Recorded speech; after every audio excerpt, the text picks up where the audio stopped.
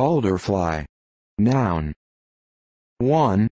A member of any one of the 66 species of the Sialidae family of megalopteran insects, each specimen of which has a body length not exceeding 1 inch and possesses long filamentous antennae and four large dark wings.